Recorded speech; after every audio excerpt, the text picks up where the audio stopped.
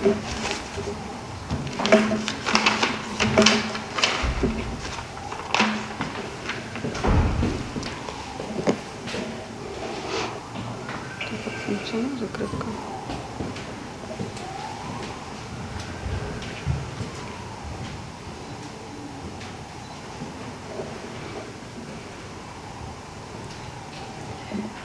ziua, dragi cetățeni, Astăzi uh, am găzduit uh, ședința Comisiei uh, Politică Externă și Integrare Europeană din Parlamentul Republicii Moldova cu Comisia Politică Externă din Senatul României. Um, suntem împreună cu prietenii noștri din România să vorbim despre toată susținerea de care a beneficiat Republica Moldova în parcursul de integrare europeană și uh, să discutăm despre toate proiectele care sunt în față și pe care le sprijină Guvernul României în Republica Moldova. Este important uh, să menționăm că România ne-a fost alături uh, Uh, în parcursul nostru de integrare europeană și în special în acești ani foarte provocatori uh, din 2021, uh, de când Republica Moldova trece prin crize, multiple crize dureroase, profunde, care afectează viața social-economică din Republica Moldova, începând de la criza energetică, de la acele eforturi pe care le-am făcut împreună cu România și partenerii europeni pentru a consolida sectorul energetic din țara noastră și acele proiecte pe care le-am pornit împreună pentru a reconstrui infrastructura din Republica Moldova. Este important să menționăm acel efort pe care l-a făcut Guvernul României pentru a reconstrui grădinițele și școlile și despre acest efort știu foarte bine primarii din localitățile unde a ajuns, a ajuns această susținere. Dacă vorbim despre anul 2023, este important să spunem că peste 60 de milioane de euro au fost investiți de Guvernul României și sunt cele mai mari investiții la nivelul țărilor Uniunii Europene în Republica Moldova pentru a face posibile reformele europene în țara noastră, care să fie simțite de toți locuitorii țării noastre. România este partenerul principal comercial, partenerul comercial numărul 1 în Republica Moldova, prin acele 1606 de companii cu capital străin prezente în țara noastră și cu peste 6 miliarde de lei investite în economia Republicii Moldova. Este important să menționăm totodată și uh, proiectele de interconectivitate care sunt enorm de importante pentru noi, pentru moldoveni ca să ne conectăm la continentul european și aici România este partenerul numărul 1 pentru că vorbim despre reconstrucția podurilor, despre construcția drumurilor, despre sectorul energetic mai rezilient și acele trei linii electrice de înaltă tensiune care ne vor conecta cu continentul european prin România, și fără această interconectivitate sunt imposibile investiții și creșterea economică în Republica Moldova. De aceea suntem profund recunoscători pentru absolut toate eforturile pe care le-a făcut România în acești 30 de ani, dar mai cu seamă de când suntem o voce care este auzită în Uniunea Europeană, o voce a cetățenilor Republicii Moldova care sprijină și solicită continuarea parcursului european în Republica Moldova și din această cauză aceste investiții sunt foarte importante, ca să ajungem în fiecare localitate și să o schimbăm la față și să le oferim cetățenilor noștri confortul european de trai și acele venituri europene pe care le așteaptă fiecare cetățean din țara noastră. România este alături de noi ca să putem să implementăm programul prezidențial Satul European și în anul 2023 România a investit 117 miliarde de lei pentru implementarea celor 33 de proiecte la nivel local care țin de construcția peductelor, iluminatului stradal, și acelui confort da, de trai european care să ajungă în toate localitățile din țara noastră. Pentru prima dată, Energocom Moldova va achiziționa de la nuclear electrică va importa 10 MW de energie. Vorbim despre reziliența și independența sectorului energetic din Republica Moldova și m-am referit la cele trei linii electrice de înaltă tensiune care ne vor conecta la continentul european și vor face posibilă deci, o consolidare a sectorului energetic în Republica Moldova, care nu ne va aduce la acea situație pe care am avut-o în anul 2022, în toamnă, când Republica Moldova a rămas fără curent electric și împreună, împreună cu România, în câteva ore a fost posibilă reconectarea Republicii Moldova la curentul electric și restabilirea curentului electric în țara noastră. Deci asta înseamnă o adevărată prietenie dintre Republica Moldova și România și noi mulțumim prietenilor noștri care sunt cea mai puternică voce în Uniunea Europeană atunci când vorbim despre parcursul european în Republica Moldova și um, obținerea acelor etape foarte importante pentru țara noastră, ultima fiind deschiderea oficială a negocierilor cu Uniunea Europeană pe data de 25 iunie anul curent, ceea ce înseamnă eligibilitatea Republicii Moldova la fondurile europene. Și pentru asta vreau să mulțumesc România că a fost și rămâne în continuare cea mai puternică voce care vorbește din numele Republicii Moldova pentru a sprijini și pentru a continua parcursul european și pentru a face posibile acele reforme care vor fi implementate în țara noastră cu fondurile europene. Până atunci, până când aceste fonduri vor fi aprobate și votate în Parlamentul European, noi deja am auzit că Uniunea Europeană vine cu un sprijin fără precedent, cel mai important și cel mai mare sprijin financiar pentru creșterea economică a Republicii Moldova, în valoare de 1 miliard 800 de milioane de euro, ca să putem să finalizăm aceste proiecte de interconectivitate, să lansăm alte proiecte foarte importante pentru crearea locurilor de muncă, pentru atragerea investițiilor și pentru majorarea veniturilor cetățenilor din țara noastră. Le mulțumim partenerilor europeni pentru faptul că în aceste timpuri provocatoare pentru Republica Moldova ne sunt alături și împreună facem posibilă această transformare europeană a țării noastre și sper în curând, peste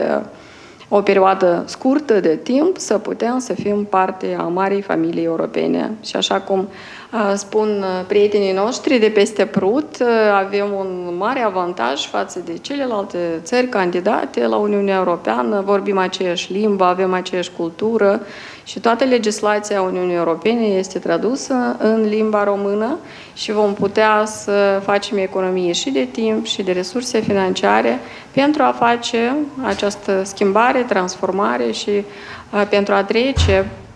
prin perioada de negocieri cu Uniunea Europeană mult mai repede. Vă mulțumim încă o dată și sper să continuăm dialogul nostru bilateral uh, foarte dinamic, foarte activ, ca să aducem uh, Republica Moldova unde este locul în marea familie europeană. Vă mulțumesc, domnule președinte, și uh, uh, vă ofer cuvântul. Da, mulțumesc foarte mult. Uh, vă spun și eu bună ziua, bine v-am găsit. Conduc Comisia de Politică Externă a Senatului României într-o vizită oficială în aceste zile la Chișinău, la invitația doamnei eh, președinte Ina Coșeru și este o vizită de răspuns la vizita anterioară pe care Comisia pentru Politică Externă și Integrare Europeană a Parlamentului Republicii Moldova a efectuat-o la București. Eh, noi eh, menținem un ritm de contacte politice, parlamentare și, bineînțeles, la nivelul guvernelor foarte ridicat, la nivelul președinților foarte ridicat, pentru că vorbim de un uh, proiect uh, esențial pentru viitorul Republicii Moldova, pentru bunăstarea cetățenilor din Republica Moldova, pentru o viață pe uh, standarde, la, la standarde europene care să însemne prosperitate, să însemne democrație, să însemne libertate. Și aici rezonăm pentru că, până la urmă, avem și un fundament comun, așa cum s-a spus, de identitate și limbă românească. Ehm, este o vizită în care ne-am uh, concentrat uh, asupra ehm, transformărilor și asupra proiectului european care avansează și avansează a spune cu pași extrem de concret și substanțial în Republica Moldova și, bineînțeles, este vorba și de o susținere politică pe care noi o realizăm din România și în cazul nostru, în cazul Comisiei pentru Politică Externă, din perspectiva diferitelor familii politice din care senatorii României fac parte.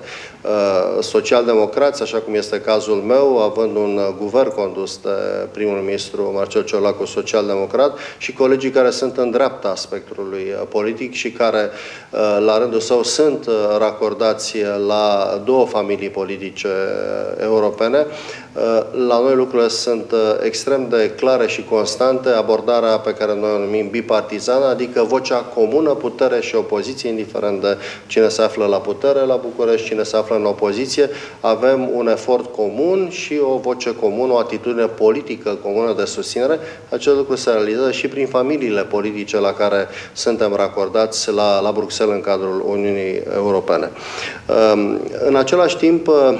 am dorit să vedem în mod concret care sunt pașii următori, pentru că cooperarea în plan bilateral și care reflectă o relație absolut specială, menționam mai devreme, se realizează și la nivelul Guvernului și la nivelul Parlamentului. Uh, noi suntem permanent în contact între diferitele comisii parlamentare, Comisia de Politică Externă, dar în același timp Comisia Juridică, pentru că vorbim de achiul comunitar, vorbim de legislație europeană care trebuie uh, incorporată în ordinea juridică, uh, politică, instituțională și socială internă în Republica Moldova. Vorbim de alte comisii cu conținut economic care cooperează foarte, foarte strâns și vorbim de o comisie comună pentru integrare integrare europeană pe care personal am lansat-o cu mulți ani eh, înainte, cu omologul de la acel moment din Parlamentul Republicii Moldova. Suntem într-o fază avansată pentru a obține o decizie, eh, sperăm noi, favorabilă la nivelul Comisiei Europene pentru un proiect de twinning, de înfrățire între pe de o parte un consorțiu de parlamente naționale din Uniunea Europeană, evident și Parlamentul României și Parlamentul Republicii Moldova, pentru că acel lucru înseamnă un transfer de expertiză în gestiunea legislativă, în construirea unor proiecte, în adoptarea legislației pe model european și uh, suntem uh, încrezători că va fi un proiect care va adăuga uh, un, o susținere și o expertiză care pot fi utile, sunt convins, colegilor noștri din Republica Moldova. În egală măsură, este și un efort de comunicare publică din experiența României, fără să fi fost perfecți. Am făcut și noi greșelile noastre în procesul de negocieri la acel moment pentru aderarea la Uniunea Europeană. Încercăm să promovăm o informare corectă, obiectivă, a beneficiilor pe care o societate care se integrează în Uniunea Europeană le are. Pentru oameni, pentru cetățeni, pentru că ăsta este rolul nostru, oamenilor politici care reprezentăm uh, cetățenii, să putem face bine pentru uh, cetățenii uh, noștri. În cazul nostru avem exemple extrem de concrete și este bine să putem să le prezentăm opinie publice din Republica Moldova, care a fost obiectul unor încercări foarte profesioniste în ultimii ani de manipulare și dezinformare cu privire la mizele reale și beneficiile reale ale integrării în Uniunea Europeană și pot să spun foarte pe, pe scurt, deși ar fi foarte multe lucruri de spus, faptul că România de la momentul integrării în Uniunea Europeană în 2007 până astăzi când uh, vorbim, a înregistrat datorită resurselor bugetare, banilor europeni la care am avut acces și pe care altfel nu i-am fi avut, n-am fi avut aceste resurse de dezvoltare, a înregistrat o schimbare substanțială în bine a nivelului economic și social, de la nivelul veniturilor până la infrastructură, până la sănătate, educație, lucruri care sunt foarte importante în viața cetățenilor. În cazul României, de exemplu, am plecat în 2007 și este un criteriu foarte important de uh, referire la media europeană a veniturilor a puterii de cumpărare a cetățenilor, a investițiilor. Noi am plecat în 2007, atunci când am aderat la Uniunea Europeană, de la un nivel de 35% din media europeană. Deci mult mai jos. Am avut de recuperat o perioadă istorică care a însemnat comunism. După căderea comunismului a însemnat uh, un proces de tranziție care n-a fost chiar uh, simplu. Am plecat de la 35% din puterea de cumpărare a cetățenilor europeni ca medie. Astăzi, la, după ciclul de 17 ani, care nu este un ciclu lung în realitate la scara istoriei, România se situează la nivelul de 80% din puterea medie de cumpărare europeană. E o creștere consistentă, uriașă, spune, a veniturilor cetățenilor români, a modului în care prosperitatea a apărut în, în România, nu înseamnă că nu mai avem de lucru. Mai avem în continuare. Dar suntem astăzi 80% din puterea de cumpărare uh, medie a cetățenilor europeni. Și acest lucru explică toți banii europeni care au intrat în România, explică de ce produsul intern brut, adică avuția națională, ceea ce o țară are, ceea ce o țară produce, uh, produsul intern brut a crescut de la, din 2007 până acum, în 2024, cu 400%. Deci o creștere de 4 ori a produsului intern brut. Nu știu dacă lumea realizează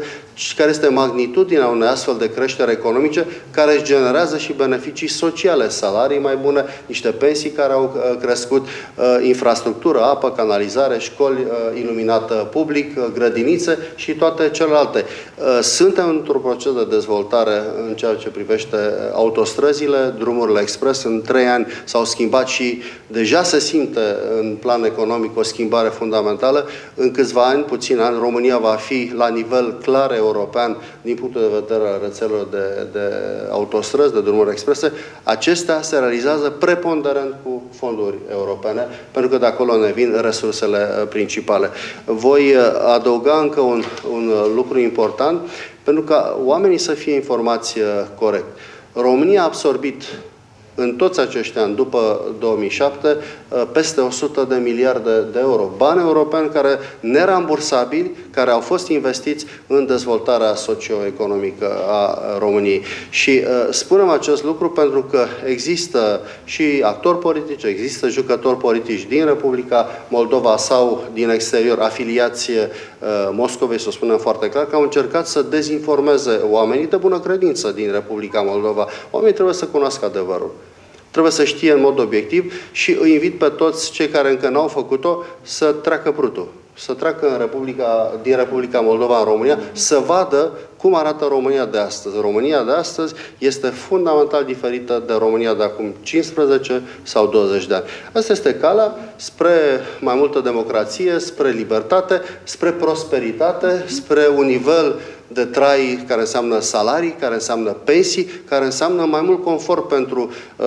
oamenii din Republica Moldova care merită sunt oameni care au o vocație europeană și dincolo de manipulările unora sau altora, este singura soluție pentru o viață decentă, prosperă și democratică. Astea sunt uh, discuțiile pe care le-am avut și astăzi. Știm foarte bine ce avem uh, de făcut. E necesară continuitatea acestui uh, efort Și noi în România avem un an important în toamna acestui an din punct de vedere politic și electoral, dar noi știm că este singura soluție și mergem mai departe într-un parteneriat cu Chișinăul, cu Republica Moldova, care contează foarte mult și contează foarte mult și în ochii europeni. Vă mulțumesc!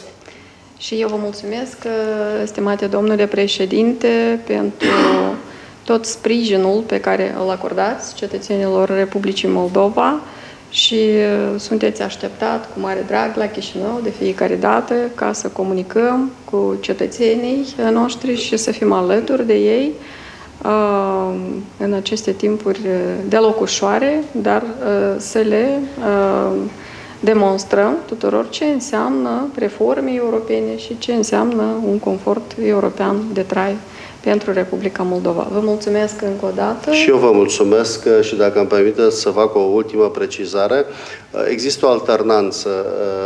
Mulțumim pentru invitația la Chișinău, însă Comisia de Politică Externă și Integrare Europeană a Parlamentului Republicii Moldova este așteptată în vista de răspuns în România, pentru că dorim pentru parlamentarii uh, de la Chișinău să oferim uh, niște exemple extrem de concrete din România profundă și uh, voi permite să fac o invitație în circunscripția pe care eu o reprezint în Senatul României, la Dâmbovița, cu o capitală istorică a țării românești timp de trei secole la Târgoviște. Toți marii domnitori ai țării românești au fost acolo timp de trei secole, de la Mircea cel Bătrân, la Vlad Țepeș, la Mihai Viteazu până la Brâncoveanu. Și veți vedea acolo cum în mod